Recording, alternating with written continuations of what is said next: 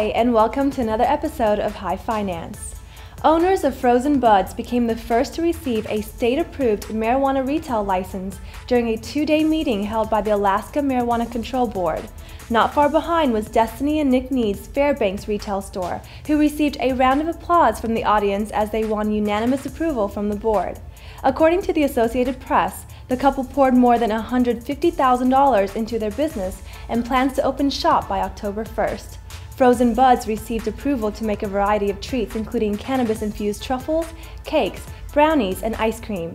Other businesses approved by the board are Einstein Labs for product manufacturing and Dream Green Farms for growing. Another meeting will be scheduled to continue this process.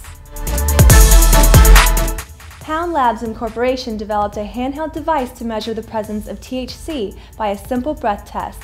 Founded by an emergency room doctor, a patent attorney, and a reserve deputy sheriff, the device has successfully completed roadside field testing by local law enforcement. Hound Labs' device resembles an alcohol breathalyzer and is to be used in situations where officers suspect marijuana use.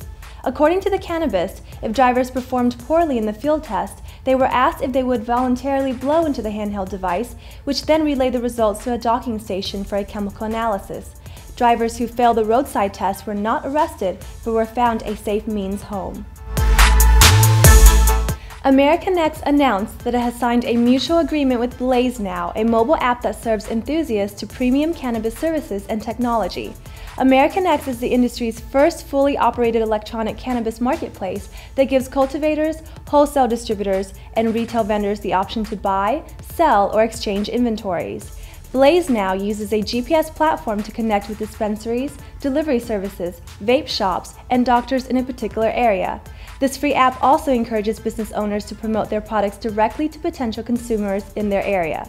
While commenting on the news, CEO of Blaze Now, Mark Glover, states, our goal is to provide all dispensaries and businesses with a secure platform to reach and increase their customer base. This concludes another episode. Today's news was brought to you by Marijuanomics. Check out highfinancereport.com for the latest updates on cannabis business.